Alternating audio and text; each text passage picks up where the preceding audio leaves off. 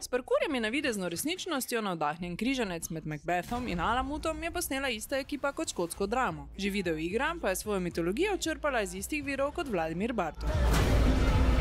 A najbrž je čas, da naredimo križ čez filmske priredbe računalniških iger. Asasinov nazor ima sicer samo svoj vizualni slog, a rezultat zvodi ni, saj se preveč trudi stlačiti kompleksno zgodbo v celovečerni film.